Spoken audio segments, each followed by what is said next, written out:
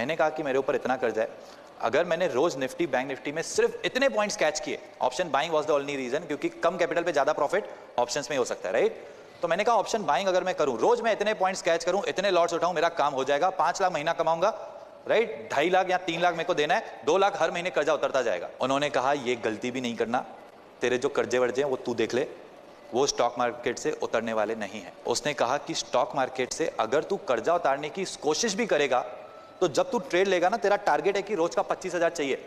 अगर जिस दिन पच्चीस हज़ार नहीं आया, पाँच हज़ार भी लॉस हुआ ना, तू बहुत इमोशनली वीक हो जाएगा, बहुत सारे इमोशंस आएँगे। जब तू ट्रेड में देखेगा कि यार पच्चीस हज़ार की तरफ़ नहीं, लेकिन माइनस की तरफ़ जा रहा, तेरे अंदर बहुत इमोशंस आएँगे तो डिसीज़न रॉन्ग ले लेगा और तू कुछ लॉजिकली समझ भी नहीं पाएगा। सिंपल है। फाइनेंशियल क्राइसिस से बाहर आने के लिए stock market is not the solution but stock market में अगर तुझे एंट्री चाहिए तो तेको टोटली रिलैक्स माइंड से ट्रेडिंग करना है